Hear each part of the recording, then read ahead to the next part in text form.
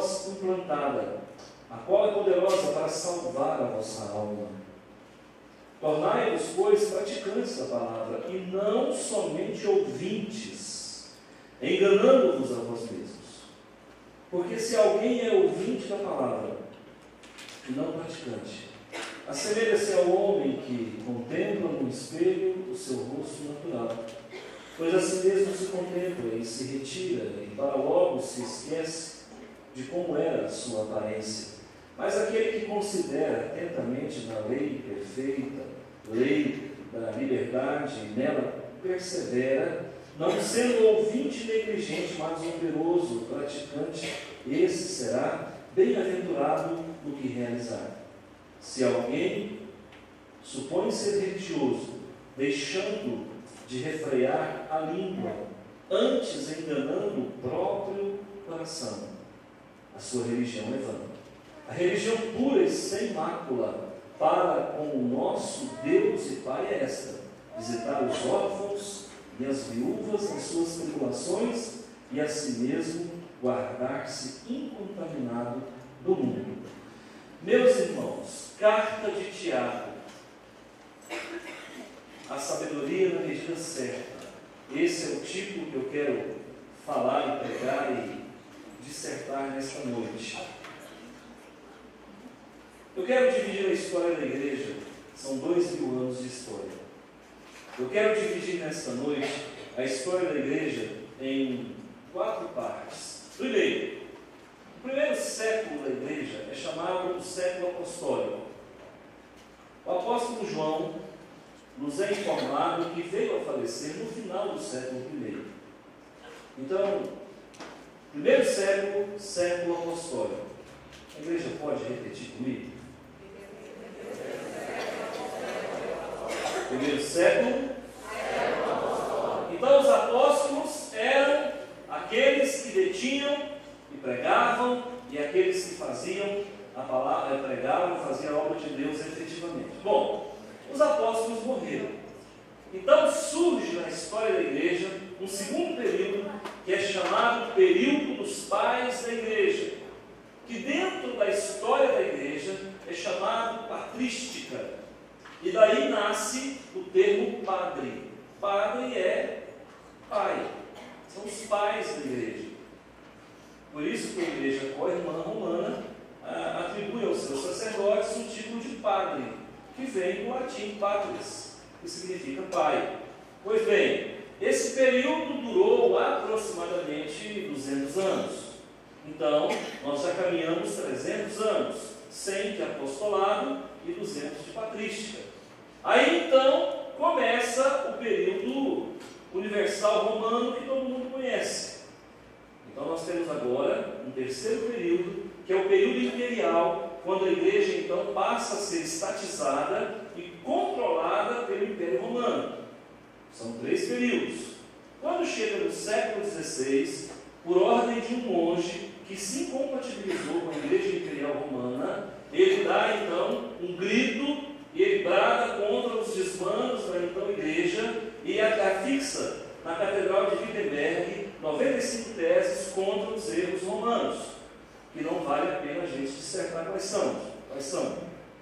Mas nasce o período da reforma. Então nós temos, em dois mil anos, pelo menos quatro fases da igreja. Nós temos o período apostólico, que durou um século, nós temos o período da patrística, que durou aproximadamente 200 anos, temos o período imperial, o período da igreja estatal, né, que dura aí mais ou menos 1.200 anos, e quando chega no século XVI, porque um monge chamado Martinho Lutero, que fazia parte dessa igreja imperial, embora fosse é, recluso a um monastério, né, a igreja imperial monástica, que a gente chama na história da igreja, ele então entende da parte de Deus, ao ler a carta de Romanos, que a igreja havia saído do trilho, porque naquela época se vendia indulgências, naquela época se praticava coisas que não eram totalmente bíblicas do seu entendimento. Então, ele afixa as 95 teses da Catedral de Wittenberg e estabelece sola gratia, sola fides e sola fé. Só a graça de Deus, só a fé e só a Escritura. E a tradição da igreja, desses 1.200 anos de período imperial, é descartada na reforma, e a reforma, a reforma, então, a igreja reformada começa a caminhar dentro de uma visão ortodoxa, onde os 66 livros dão base para uma igreja reformada. Quem entendeu levantando? Ótimo. E aqui nós temos, irmãos, um homem que no período da patrística, então vocês estão entendendo, o segundo período, o período dos pais da igreja, eles diziam que esse Tiago era irmão de Jesus. Há evidências, há registros históricos de que esse Tiago, eu fiz menção agora, que nós lemos a, a carta, ele era irmão de Jesus. Depois veio algumas, algumas dúvidas se é esse Tiago que era irmão de Jesus, ou se era o Tiago que morreu em Jerusalém. Tinham dois Tiagos, pelo menos. Então ficou essa, essa dúvida, afinal de contas, quem era irmão de Jesus? Era esse Tiago ou era o Tiago que foi martirizado por Herodes? Bom, não vamos entrar nessa discussão. Mas uma coisa é certa: esse Tiago aqui escreveu uma das cartas mais práticas que a Bíblia possui. Não tem ninguém mais trivial no sentido de mais preciso, mais prático, mais sapiencial do que esse homem Tiago. A carta dele é para o dia a dia da nossa vida. Uma coisa se sabe quando se lê a carta de Tiago no original. Ele tinha conhecimento vasto do grego. Ele era um apóstolo, ele era um escritor, ele era um evangelista que tratava com propriedade o grego, porque ele era vindo possivelmente de uma família helenista, não sei, mas era um homem que tinha uma grafia muito bem elaborada, uma gramática muito bem corrigida. A carta dele tem essa característica. Ela resgata alguns conceitos do Antigo Testamento e ao mesmo tempo ela estabelece uma prática diária do Evangelho de acordo com as necessidades do povo naquela época. Se você observar bem aqui, você vai ver que está dando uma orientação precisa para como, como o crente deve viver. E ele acaba estabelecendo um princípio de sabedoria, e ele coloca para nós aqui nesta noite um entendimento de que a sabedoria para nós precisa vir na medida certa. E eu vou falar hoje para você exatamente o que você precisa ouvir. E eu sei que você vai sair daqui refletindo nessa palavra, meditando nela, e ela não vai sair do seu coração. Amém? Ele está falando aqui, irmãos, que nós devemos viver uma religião sem mácula. O que é mácula, igreja? Sem pecado. Nós devemos viver uma religião sem mancha. Por quê? Será que existe alguém que está vivendo uma religião com mancha? Sim ou não? Claro! Tanto está que Martinho Lutero, no ano de 1516, vai lá e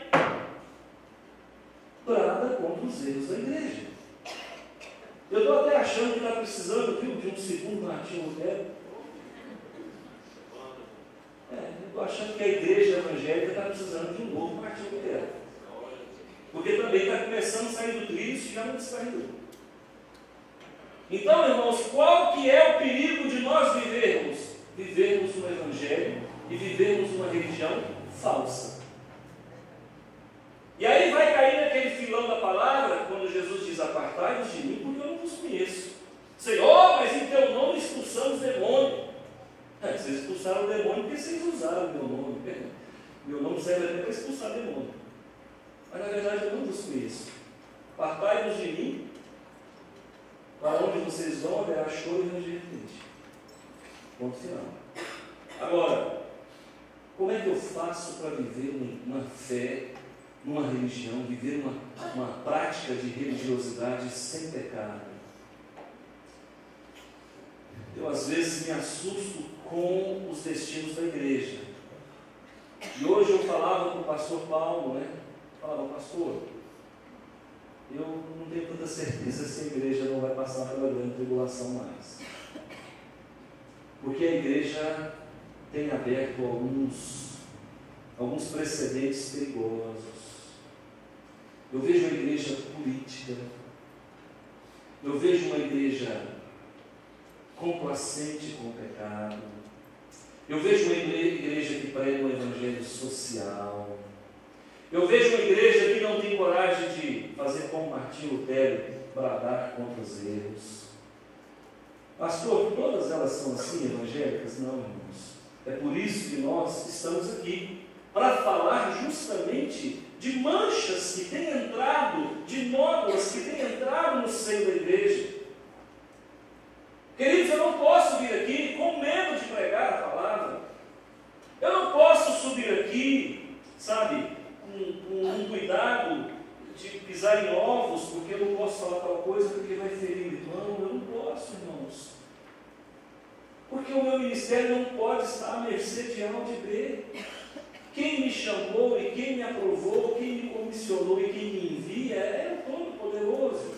Eu preciso falar por Ele, porque Ele não vai descer aqui para falar. E Ele não vai mandar anjo aqui para falar. Aliás, um anjo, segundo a palavra de Deus em Apocalipse, aqui sou eu. Eu é que tenho que fazer as vezes, porque de mim será cobrado o sangue de cada um de vocês, caso eu fale.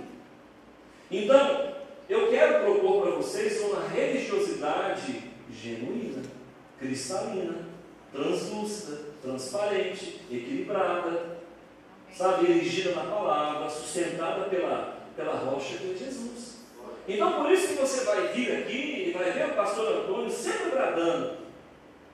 Porque hoje não nos chamam mais de protestante, nos chamam de evangélicos. E eu, eu às vezes prefiro mais um título de protestante. Eu quero protestar. Eu quero protestar. Agora não é mais contra a igreja romana, é contra a igreja evangélica. E o Martinho Lutero da vez hoje sou eu. Não sou alemão, não.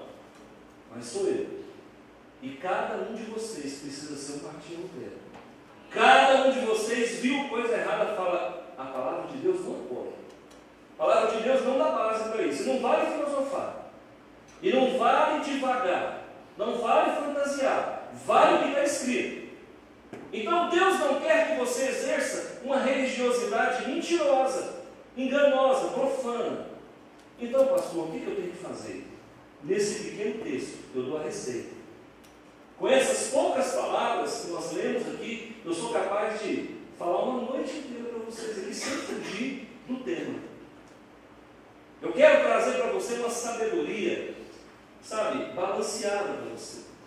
Eu quero que você receba na medida do que você precisa que você receba uma palavra que venha justamente colocar você a par em condições de exercer um evangelho, exercer uma religião sem mácula, sem mancha. Aqui diz assim, ó, no versículo 27, vou começar de trás para frente.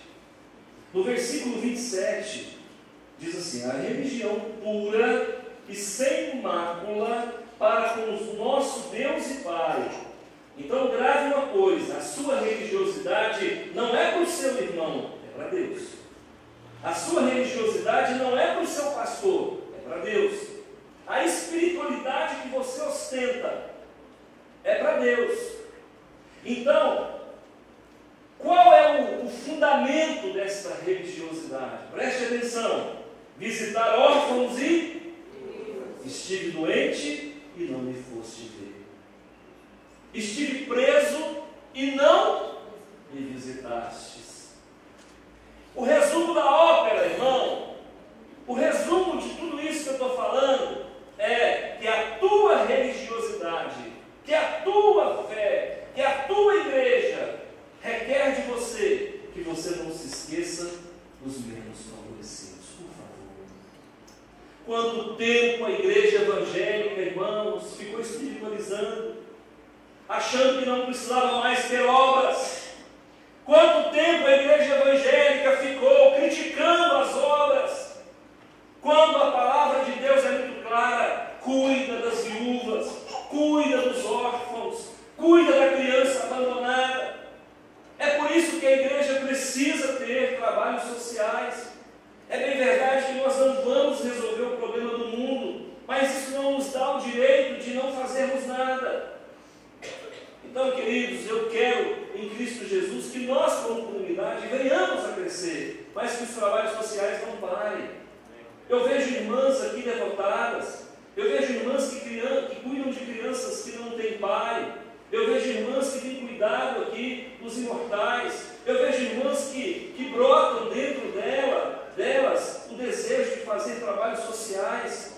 Irmãos, nós, a nossa igreja terá mais cedo ou mais tarde que, que, que, que edificar uma casa de recuperação, não tem como. Então, é claro que tudo no tempo certo, porque tudo isso demanda custo. Mas nós não podemos nos esquecer dos menos favorecidos. O que muita gente não sabe, normalmente se prega que Sodoma e Gomorra foi destruído por causa do homossexualismo. Mas esse não foi, se esse foi o motivo, esse não foi o, o único motivo. Um outro motivo que agrediu a Deus foi a falta de amor aos necessitados. Isso está grafado na palavra. Então, por favor, Ajude os necessitados. Sabe, faça o que você puder para ajudar aqueles que precisam de ajuda, de um alimento, de uma roupa, de um remédio. Veio até você, irmão, mata no peito e abençoa. A verdadeira religião tem que pregar isso. Está aqui na carta de Tiago. Segundo fundamento dessa verdadeira religião, dessa religião sem mancha, a si mesmo guardar-se incontaminado do mundo. Então preste atenção: dois pilares se levantam nesta pregação. Primeiro, cuide dos necessitados. Quem entendeu, levante a mão. Amém. Religião sem falsidade hoje. Cuide dos necessitados. Segundo pilar, não se envolva com as coisas do mundo. Não se envolva com os prazeres do mundo. Não se envolva com as perdições do mundo. Não faça consórcio com prazeres desse mundo. Isso passa e as consequências ficam. Qual é o papel da verdadeira religião? Te ensinar a ser santo a cada dia. Qual é o papel da verdadeira religião? Te ensinar a cuidar dos necessitados. Irmão, se eu vier aqui e eu não pregar um evangelho como este, por favor, chame outro pastor. Mas chame um pastor. Porque de charlatão chega. De gente que quer levar vantagem, chega. De gente que tem construído impérios para si. Porque se pelo menos fossem impérios para a comunidade, não, mas são impérios pessoais. São interesses pessoais e vem com toda argumentação muito bonita de se ouvir.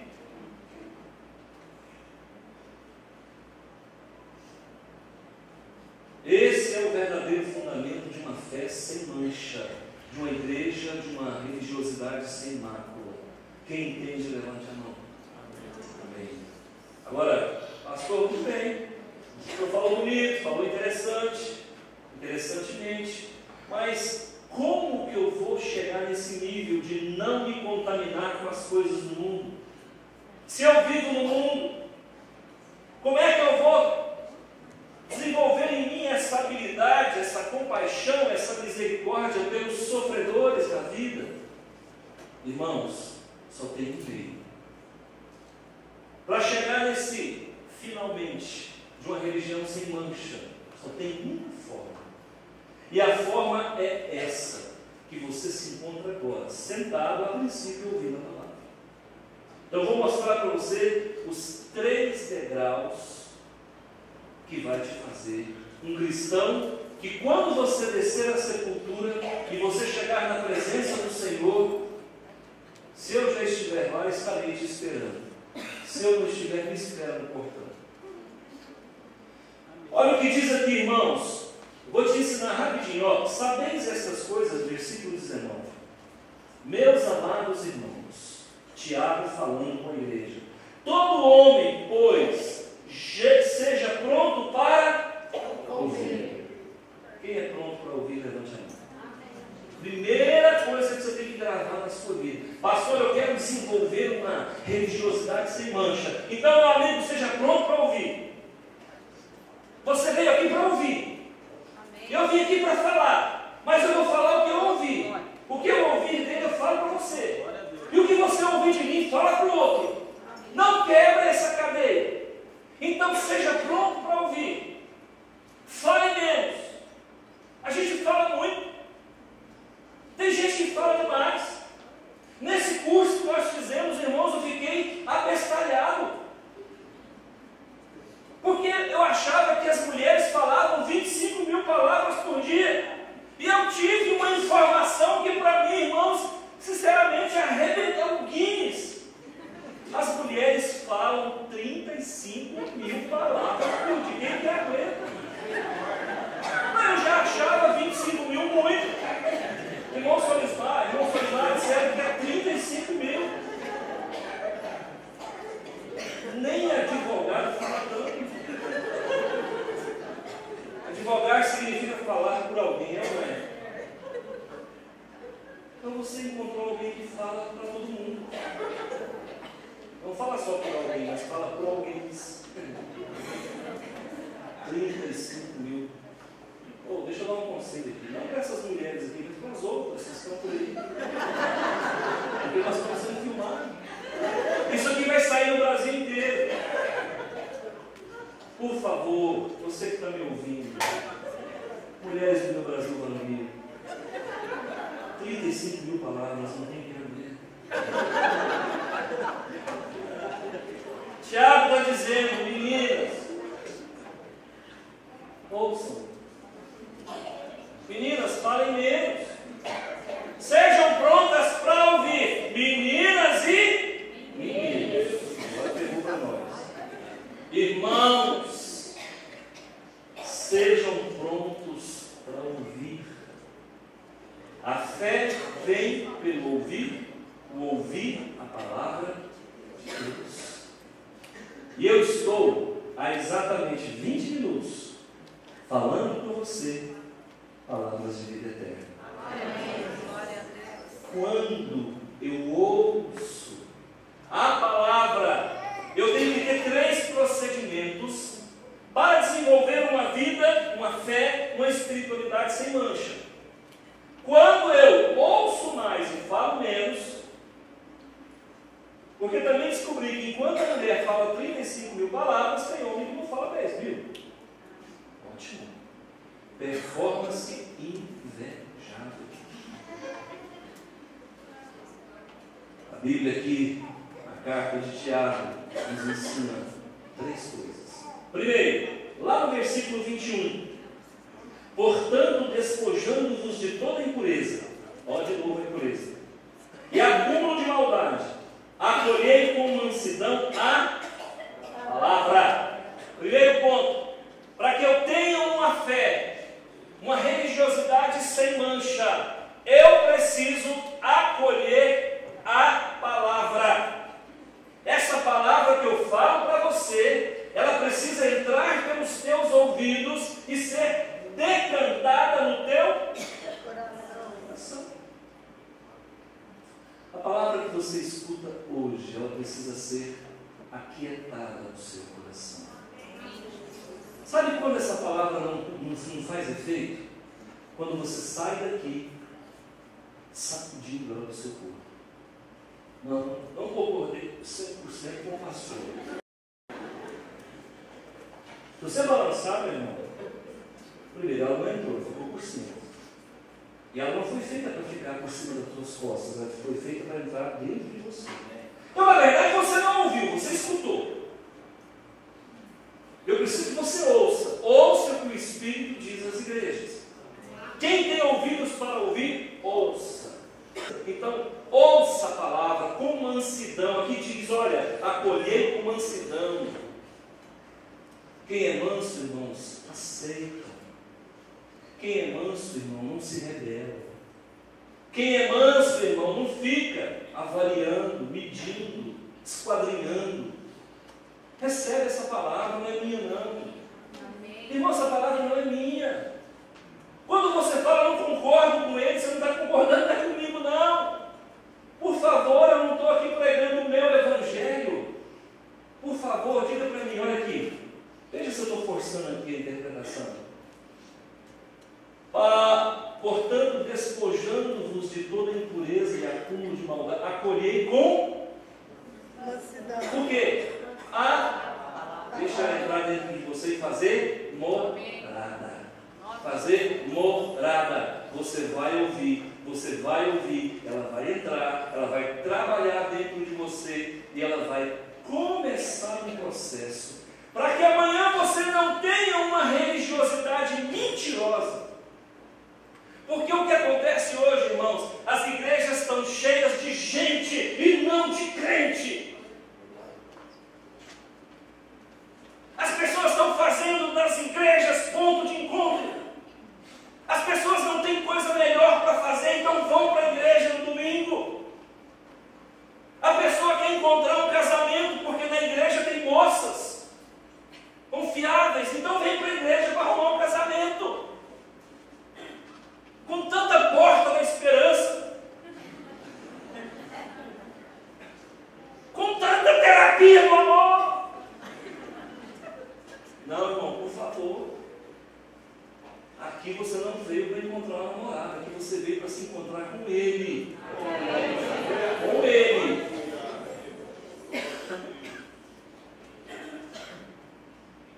Então, para que eu possa exercer uma religiosidade sem primeiro acolha a palavra de Deus no teu coração. Amém. Segundo, lá no versículo 25 diz assim: Mas aquele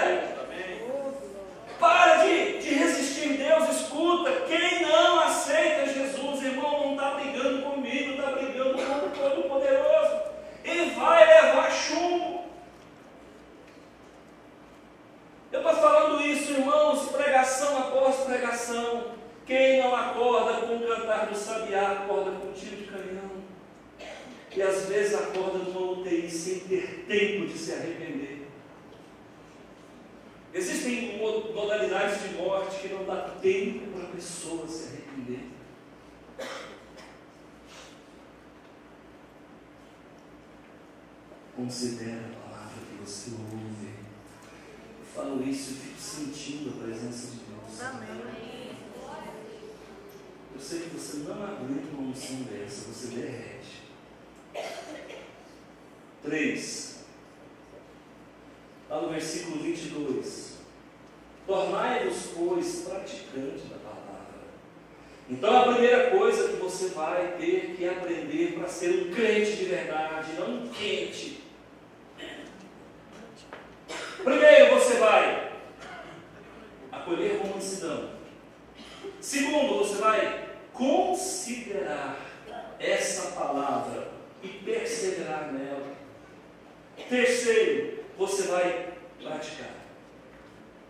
Praticar. Quem tirou carteira de motorista e nunca dirigiu, levante a mão. Pode fazer de novo. Pode fazer. Esqueceu. Esqueceu. Então, ouve a palavra, pratica ela. Nós não estamos te oferecendo, nós não estamos te exigindo nada em troca. Irmãos, nós somos tão sinceros com você. Irmão, você pensa que nós queremos o seu dinheiro, nós não queremos o seu dinheiro. Quando você oferta aqui, está pensando na sua vida, meu filho. É você que está sendo abençoado. E é a palavra de Deus, de Deus que diz, trazer todos os dias na casa do tesouro, se eu não fazer prova de mim, se eu não vos abrir as comportas do céu. De vez em quando eu encontro gente, você, pastor, eu não concordo com o dízimo. Problema seu. Eu concordo. Problema seu. Pastor, eu não concordo com certas coisas. Problema seu. A briga não é comigo. Briga, briga é com Deus. Você vai perder.